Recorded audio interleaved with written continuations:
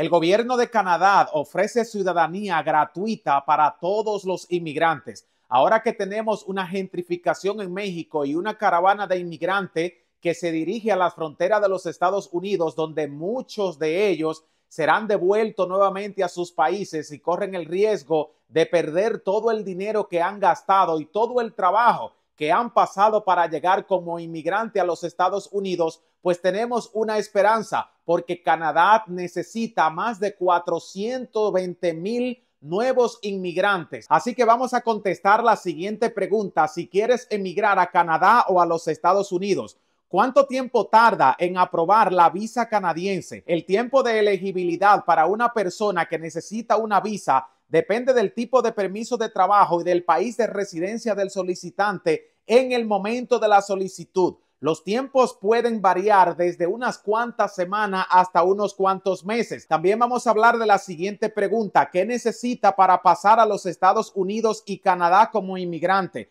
¿Cuánto cuesta una visa canadiense? ¿Y qué tan difícil es conseguir una visa canadiense? De antemano te digo que conseguir una visa para Canadá es mucho más sencillo que para los Estados Unidos y aquí te voy a decir por qué. La baja natalidad de los canadienses ha llevado al primer ministro cambiar los requisitos que se le pedían a los inmigrantes que querían trabajar y hacer vida en Canadá, incluso algunas ciudades le están pagando a los inmigrantes y le están entregando la ciudadanía gratuita para que se vayan a vivir y poblar las zonas rurales canadienses. En algunos pueblos canadienses donde el clima es muy frío, la gente no quiere vivir allí y se han movido cerca de las fronteras de los Estados Unidos en las grandes ciudades como Quebec y Toronto. Pero el gobierno y el primer ministro se han dado a la tarea de conseguir por lo menos medio millón de inmigrantes todos los años para tratar de repoblar todas las áreas donde los canadienses nativos se han movido a las fronteras por el frío. Pero ¿cuáles son los requisitos que está pidiéndole Canadá a los inmigrantes?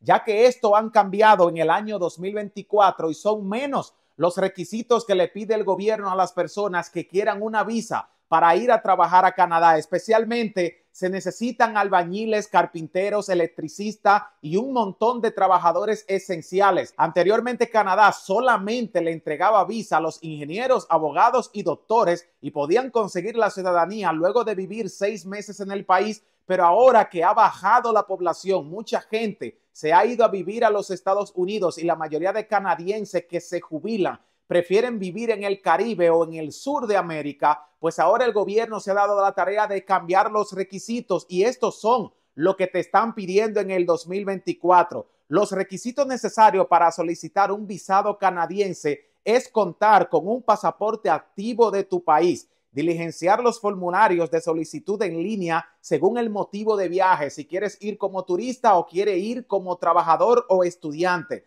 tener todos los documentos de respaldo para la solicitud de visa canadiense, como por ejemplo que no eres un inmigrante que te vas a quedar ilegalmente, sino que vas a llevar todo el proceso. Y como te repetí al principio, Canadá no es como Estados Unidos, de aquí no te deportan tan fácilmente porque el país te necesita. Te pueden hasta pagar por vivir en Canadá. Además, diligenciar el formulario de consentimiento para que la embajada canadiense te otorgue una visa para ir al país. El país hoy está buscando 421 mil inmigrantes para el 2024. Puedes aplicar para beneficiarte de una visa canadiense aunque no tengas un título universitario. En los años anteriores sí se necesitaba tener un título porque solamente se estaban admitiendo trabajadores profesionales, pero ahora se necesitan empleados esenciales todo el que sepa trabajar agricultura, el que sepa trabajar construcción, especialmente el área de construcción, todos aquellos que saben albañilería, carpintería, que saben cómo se hace una casa, pueden adaptarse muy bien al sistema económico de Canadá, donde tenemos una baja tasa de natalidad y hemos reducido la población en un 15% en los últimos siete años. El gobierno quiere volver a repoblar el segundo país más grande del mundo Recordemos que Canadá es solamente más pequeño que Rusia, pero territorialmente es más grande que Estados Unidos y apenas llegamos a una fracción de la población estadounidense. Además de ello, ¿prefieres inmigrar a Canadá o a Estados Unidos? Aquí hay dos grandes diferencias. Lo primero es que en Canadá los migrantes de Centroamérica y Suramérica no son discriminados, sino que son vistos como ciudadanos trabajadores y que pueden sacar la economía adelante, mientras que en Estados Unidos discriminan a todos los inmigrantes solamente por hablar el idioma español. Además que en Canadá las ciudades son mucho más limpias y los empleos son mejores remunerados ya que Canadá es mucho más rico que en Estados Unidos. Y otra de las ventajas más importantes que puedes tener si emigras a Canadá como un inmigrante, si te dan una visa o logras conseguir de alguna forma llegar al país, es que puedes hacerte ciudadano, te pueden entregar la ciudadanía gratuitamente y puedes obtener múltiples beneficios como una remuneración a la hora de pagar los impuestos por cada hijo que tenga. Además, vas a tener un seguro médico gratuito que te otorgará el gobierno. Además de esto, la residencia permanente o ciudadanía la puedes hacer en seis meses luego de llegar como un inmigrante con visa hacia el país, mientras que en Estados Unidos hay muchos inmigrantes que tienen 10, 15 y hasta 20 años y aún no se han podido hacer residentes. Quise traerle este corto video a todos los inmigrantes que hoy se están desplazando por México tratando de llegar ilegalmente a los Estados Unidos para que entiendan que hay mejores beneficios en Canadá y no vas a sufrir la persecución de las autoridades de inmigración ya que Canadá es mucho más flexible con los inmigrantes porque nos necesitan. Necesita que se construyan todos los proyectos habitacionales y el país necesita crecer humanamente porque tienen demasiado territorio sin habitar y tú podrías encajar perfectamente en una economía rica donde se habla tanto inglés como francés y el español es muy parecido al francés. O sea,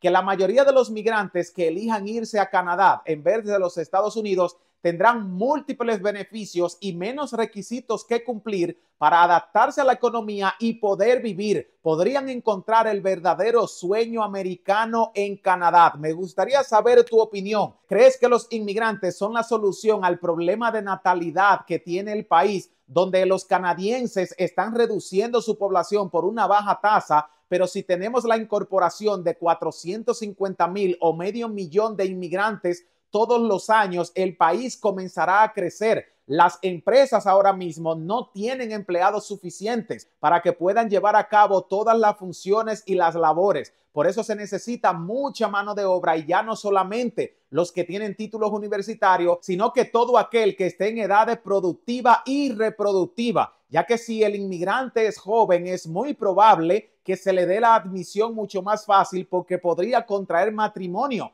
con un ciudadano canadiense y crear una nueva familia. Ya me gustaría ver a todos los seguidores de autos baratos casados con una canadiense. Además, menos requisitos para los inmigrantes. Eso es importantísimo, ya que Estados Unidos le está poniendo las cosas en la China a todo el que va a pedir una visa, mientras Canadá tiene la puerta abierta para todos nosotros. Si estás haciendo planes para irte a Estados Unidos como indocumentado y no conocías nada de Canadá, déjamelo en los comentarios porque puedo traerte un video actualizado sobre cuáles son los requisitos, en qué lugares puedes ir a pedir la visa y a qué compañías deberías aplicar para que ellos te den la admisión y obtengas una visa canadiense. 421 mil nuevos inmigrantes para el 2024 y me gustaría saber qué prefieren ustedes para emigrar, Canadá o los Estados Unidos. Y cómo está el sistema inmigratorio, en mi caso, yo preferiría Canadá, aunque ahora vivo en los Estados Unidos, pero lo estoy reconsiderando.